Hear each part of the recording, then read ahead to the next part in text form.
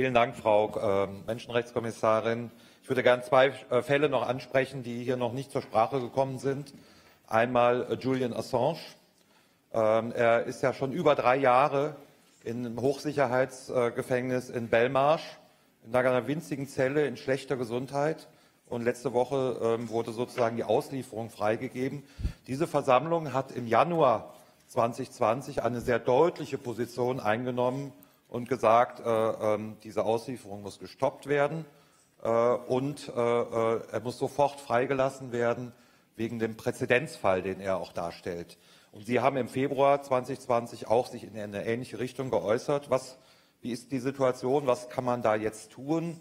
Was wären die nächsten Schritte? Das wäre vielleicht auch nächsten Montag, was Sie angesprochen haben.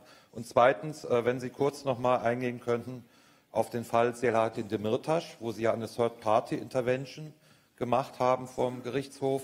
Äh, vielen Dank für die klaren Worte zu Kavala. Aber ich glaube, wir müssen auch Selahattin Demirtas nicht vergessen. Vielen Dank. Madam Commissioner. Thank you, Mr. On Assange, um, you rightly stated, I was very clear, um, and uh, I offered uh, my view, um, you know, just to, to, to, mention it briefly, that Julian Assange should not be extradited to the US. Um, my position stays the same. Uh, I communicated this to the UK government. Um, I'm following closely the case. My team is in touch uh, with many human rights defenders and NGOs working on this case in UK and elsewhere. Um, I intend to visit uh, UK at a certain stage, hopefully this year, um, and I do hope um, now um, during these uh, several weeks we will also follow closely because there are some things happening also on the judicial uh, uh level. So I can assure you that this is something that will remain um, high on my agenda. When it comes to Mr. Demirtas, uh, I'm sure you're aware that uh, I, I um, attended a Grand Chamber hearing um, on, on Demirtas case.